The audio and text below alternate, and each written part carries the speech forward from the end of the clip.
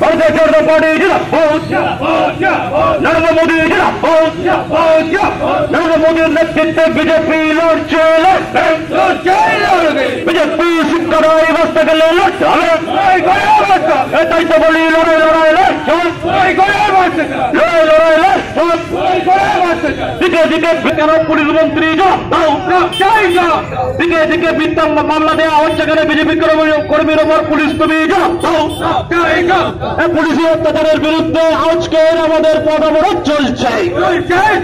পুলিশি অত্যাচারের বিরুদ্ধে আজকের পদ অবরোধ চলছে। বন্দে মাতরম।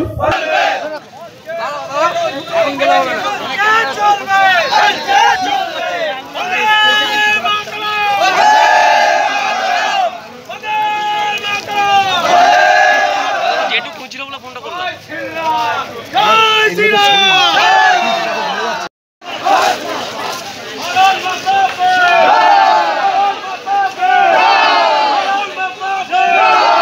ভাড়া ছিল আমাদের পাশের গ্রামে ভাড়া ছিল, সে গাড়ি নিয়ে আসছে, মোটরসাইকেলে ওকে পুলিশে আটকেছে।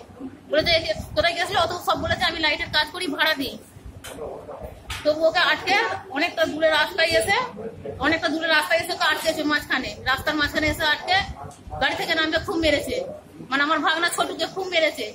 মারার পর মামারা ছিল। বলছে সেরকম ছাড়াছাড়ি কত বছর মারছে অপরাধটা কি? দোষটা কি? ছাড়াতে গেছে সঙ্গে সঙ্গে বন্দুক বার করে গুলি করেছে। পুলিশও গুলি করেছে। তিনজন ছিল। গ্রোথ থানার মেজবাবু ছিল আর ওর সঙ্গে আরও দুটো পুলিশ ছিল।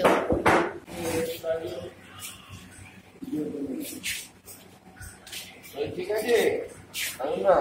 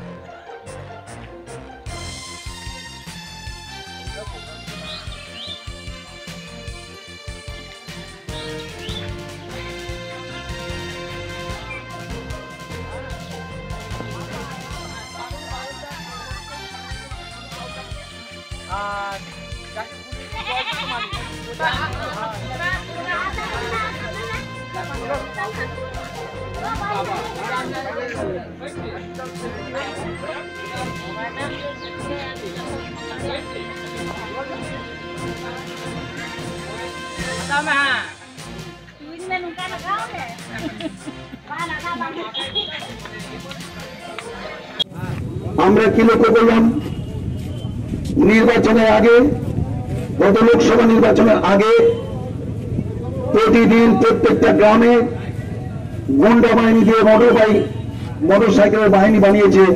গ্রামে গ্রামে আমাদের বিজেপি কর্মী, সাধারণ মানুষের উপর অত্যাচার চালিয়েছে। এই সেই অসীমাপাত্র এই সেই তৃণমূল কংগ্রেস, এগারো সালে বিধানসভায় ক্ষমতা আসার পর আমাদের সাধারণ মানুষকে বলেছিল, পরিবর্তন আমরা চেয়েছিলাম, পরিবর্তন আমরা করেছি। পরিবর্তনের পরিবর্তে আমরা কি দেখলাম?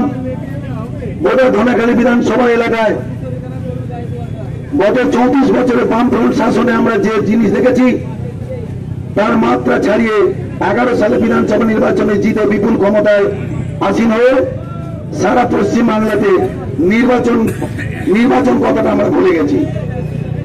নির্বাচন প্রথম পঞ্চায়েত নির্বাচনেও যেমন আনকন্টেস্টেড করা হচ্ছে বিরোধীদের বিরোধীদের অংশগ্রহণ করতে দেওয়া হয়নি। পরে পঞ্চায়েত নির্বাচনটা তো আমরা দেখেছি। যে এই পঞ্চায়েত নির্বাচনে কীভাবে শুধু আমরাই নয়, সাধারণ মানুষ পর্যন্ত দেখেছেন। ভোটের ভোটের করে গিয়ে তাকে ফিরে চলে আসতে হয়েছে। এই নাকি আমাদের তৃণমূল কংগ্রেসের পরিবর্তন? সেই পরিবর্তনের বিরুদ্ধে এরম অত্যাচারের বিরুদ্ধে নরেন্দ্র মোদীর নেতৃত্বে যেমন সারা পশ্চিমবাংলায় একটা আন্দোলনের জোয়ার